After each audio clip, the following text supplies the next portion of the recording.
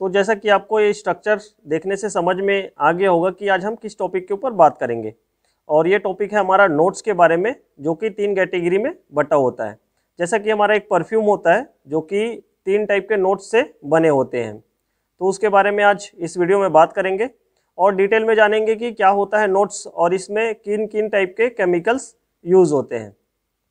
तो hello guys मैं हूँ मनीष और कैसे हो आप सब? उम्मीद करता हूँ कि आप सब अच्छे से होंगे। और एक छोटा सा रिक्वेस्ट अगर आप हमारे चैनल को सब्सक्राइब नहीं किए तो सब्सक्राइब ज़रूर कर लें, क्योंकि अगरबत्ती बिज़नेस से ऐसी कुछ इन्फॉर्मेशन आपको देते रहता हूँ, जो कि आपके लिए काफ़ी हेल्पफुल होगी। तो बात करते हैं हम अपने टॉपिक के ऊपर। जैसा कि आपको इस ट्राइंगल में तीन टाइप के नोट्स दिख रहे हैं। तो पहला है हमारा टॉप नोट मिडिल नोट और बेस नोट तो ये तीन तरीके के नोट्स होते हैं। अब ये जो नोट्स हैं, ये हमारे परफ्यूम इसके ऊपर डिपेंड होती है। मतलब इसके बेस में ही जो हमारा परफ्यूम जो है रेडी होता है। जैसे कि आप अगरबत्ती के लिए यूज़ करते होंगे तो ये नोट्स आपके लिए जानना बहुत ही ज़्यादा ज़रूरी होता है, क्योंकि परफ्यूम में ऐसे कुछ चीज़ें होती हैं जिसको आपको नॉर्मली समझना होता है। तो ये तीन तरीके के नोट्स होते हैं। तो सबसे पहले हम बात करते हैं कि ये टॉप नोट है, जो कि किस के लिए, किस पर्पज़ के लिए होता है। तो सबसे पहले हम बात करेंगे टॉप नोट्स के बारे में। जैसा कि आपको इस ट्राइंगल में आपको दिख रहा होगा, ये त्रिभुज के आकार में है। तो इसमें सामने का जो पोजीशन है मतलब सामने का जो पोर्शन है वो हमारी टॉप नोट की कैटेगरी में आती है। अब एक एग्जांपल मैं आपको देता हूँ। अगर कोई परफ्यूम आप यूज़ करते हो, चाहे अगरबत्ती के बेस में या फिर आपके कपड़े में लगाने वाली जो फ्रेगनेंस है उसके बेस में तो एग्जैक्ट में जो परफ्यूम का फ्लेवर होता है मतलब जैसे गुलाब हो गया और बहुत सारी चंदन हो गया या फिर और कोई फैंसी परफ्यूम्स हो गई तो उसमें जो बेसिक उनका स्मेल आपको स्टिकी स्मेल करने पर ही पता लग जाए। तो वो टॉप नोट की कैटेगरी में आती है। उसके बाद हम बात करते हैं मिडिल नोट के बारे में, जो कि ये जो हमारा ट्रायंगल है, उसमें बीच का पोर्शन जो है, वो मिडिल कैटेगरी में आती है। अब इस कैटेगरी में जो फ्रेगनेंस होती है, वो काफ़ी लॉन्ग लास्टिंग होती है। मतलब उनका जो ठहराव होता है या फिर फैलाव होता है, वो काफ़ी टाइम तक रहता है। तो ये मिडिल नोट की कैटेगरी में आती है।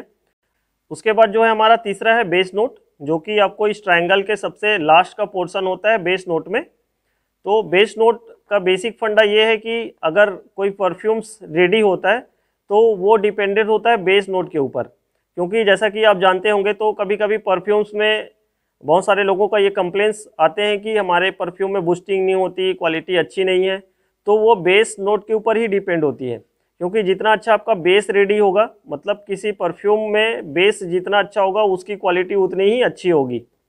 तो बेस नोट की कैटेगरी काफ़ी ज़्यादा मायने रखती है एक परफ्यूम बनाने के लिए। तो इस बेसिस में क्या होता है कि जो लास्टिंग होती है मतलब जो बूस्टिंग फैलाव होती है, वो बेस नोट के ऊपर ही स्ट्रक्चर की जाती है। तो बेस नोट जो है, ये काफ़ी अहम है इस नोट और परफ्यूम के ट्रायंगल के शेप में। और एक परफ्यूम बनाने के लिए। तो इन तीन तरीके के नोट्स के बारे में आपको पता लग गया होगा। अब इस नोट के पीछे कौन कौन से केमिकल्स जो है, वो यूज़ होते हैं, उसके बारे में कुछ जानकारियाँ आपको देता हूँ। तो सबसे पहले जो है टॉप नोट की कैटेगरी में कौन कौन से केमिकल्स आते हैं, उसके बारे में मैं आपको बताता हूँ। तो इसमें है हमारा लेमन ग्रास और बर्गनॉट और इसके बाद है बेंजाइलिसेटेट और सेट्रेनीला तो इसके बाद और बहुत सारे केमिकल्स हैं तो तीन चार केमिकल्स आप जान लें तो आपके लिए काफ़ी अच्छा रहेगा। अब मिडिल नोट में कौन कौन से जो केमिकल्स हैं वो आते हैं तो इसमें है यालंग यालंग और jasmine crystal rose crystal hidden और ऐसे बहुत सारे और केमिकल हैं। आप चाहो तो आप गूगल कर सकते हो इसके लिए, आपको बहुत सारी इन्फॉर्मेशन उसमें देखने को मिल जाएगी। अब तीसरा हमारा बेस नोट इसमें कौन कौन से केमिकल्स आते हैं? तो मस्क एमरेट है और इसमें मस्क जाइलोल है, मस्क कीटोन है और गैलेक्सोलाइट और आईएसओ सुपर। इसके बारे में आपने सुना होगा तो ये बेसिस है। मतलब जो बेस का स्ट्रक्चर होता है, वो इन केमिकल्स के रूप में रेडी होता है। तो इस तरीके से थे केमिकल्स के नाम, जो कि अलग अलग पार्ट में जो है डिवाइड हो जाते हैं। टॉप नोट के लिए अलग हो जाता है मिडिल नोट के लिए अलग हो जाता है और बेस नोट के लिए अलग हो जाता है।